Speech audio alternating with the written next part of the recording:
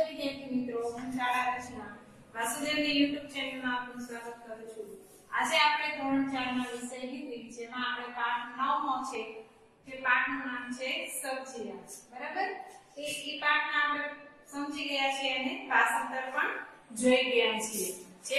આપણે સમજી એટલે કે શાકભાજી વિશે ભણ્યા છીએ.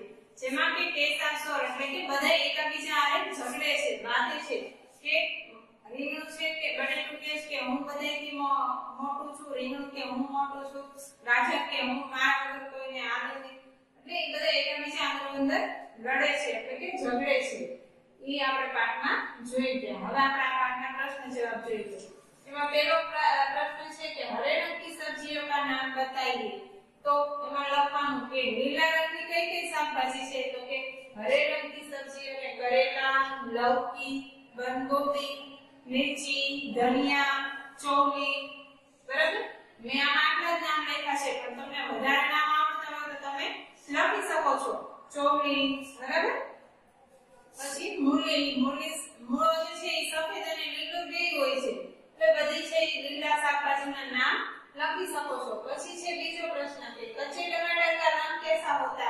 તો તમે કોઈ જોયું હોય તો તમને કદાચ ખ્યાલ હશે, પણ તમારા મમ્મી છે એને ખબર જ હશે કે કચ્ચે ટમાટર કા રંગ થોડું કાચું જે ટમેટું હોય થોડુંક લીલા રંગનું હોય અને સેજ પીળા પડતું હોય.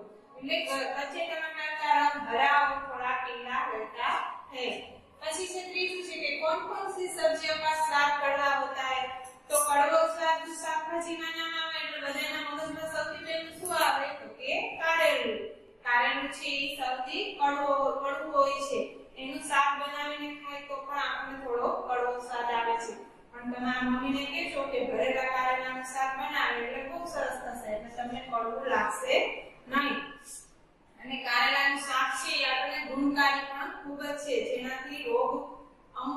છે ઈ વયા જાય છે, જેમ કે તાપ છે, ઈ બધું છે, ઈ કારેલાનું ખાવાથી મટી જાય છે. અને મેથી, જે મેથીની ભાજી આવે છે એ પણ થોડીક સ્વાદમાં કડવી હોય છે.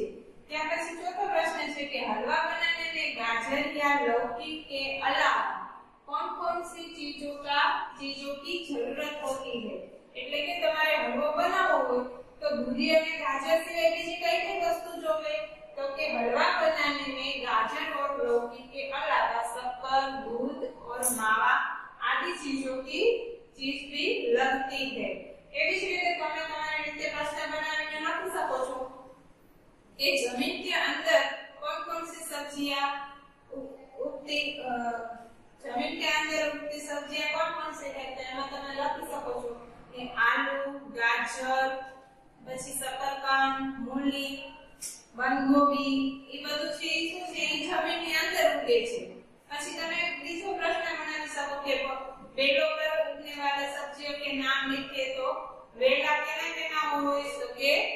દૂધી, કારેલા, કાકડી એ બધી છે એ બધાએ વેલા ઉપર ઉગે છે.